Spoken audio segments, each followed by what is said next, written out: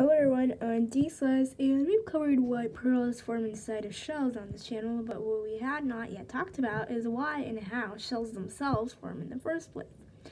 Well, shells are the exoskeletons of sea mollusks, and are made of calcium carbonate and are formed in secretions of the mantle. Oh shit, what up?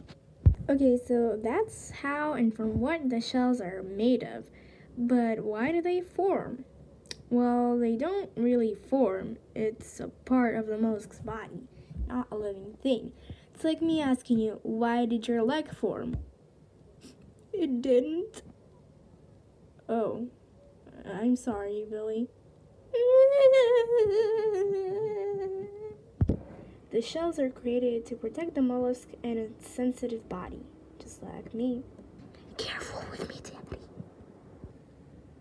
Shells are also made of three distinct layers and only 2% of them is protein. So yeah, shells are mostly made of calcium carbonate, which is also found in rocks, eggshells, and pearls, and it's white in color. But why are seashells so colorful? Well, it's because of the mollusk's shit. Yeah, so when the shell is formed, the waste from the organism can get captured in there and boom, pretty. But why are shells different shapes? Well, this is because some are created with mollusk cells and others are formed with minerals. As mollusks continue to produce calcium carbonate, their shells will continue to grow. And when the mollusk dies, it leaves behind its shell. Can you imagine, like, dying and your limb is, like, the only thing that's left? And then people find that loom and bring it home. And it's pretty. Yeah. And why are shells different shapes? Well, this is because there are about 50,000 to 200,000 species of mollusks around the world, which, of course, each produce different types of shells. And that's why we got so much variety in our shells.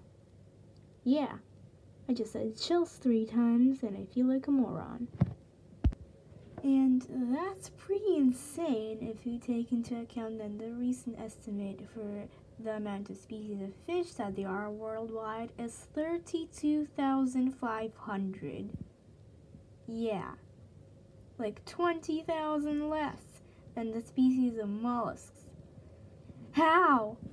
Good job, evolution. Keep up the good work. Thank you all so much for watching. I hope this video helped you a little or just wasted your time, but hopefully it was interesting. And you know, it sure did help me come out of my shell.